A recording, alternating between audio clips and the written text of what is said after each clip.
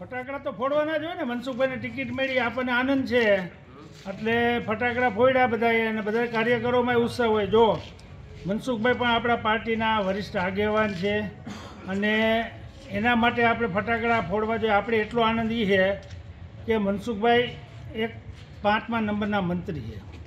અને પાંચમા નંબરના મંત્રી જો પોરબંદરને મળ્યા હોય, તો આપણે ખૂબ આનંદની લાગણી વ્યક્ત કર્યું છે કે નવા વિકાસ થાય, નવા ઉદ્યોગો આવશે અને લોકોના ખૂબ કામ થાય આજે કેન્દ્રના કેબિનેટ મંત્રી આપણને જ્યારે અહીં ચૂંટણી લડવા આવતા હોય, આપણે મોદી સાહેબને પણ અપીલ કરતા હોય કે મોદી સાહેબ, તમે અમારે અહીંયાથી લડો.